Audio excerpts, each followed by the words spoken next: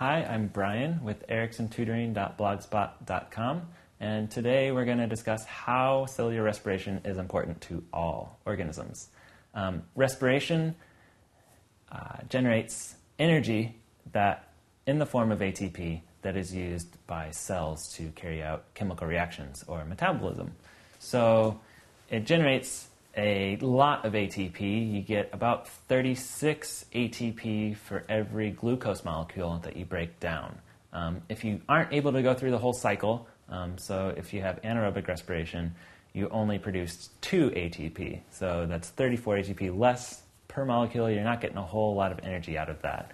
The ultimate result and the reason that respiration is so important is because the energy that's created is used to carry out all sorts of different cellular processes um, that are essential to life as we know it.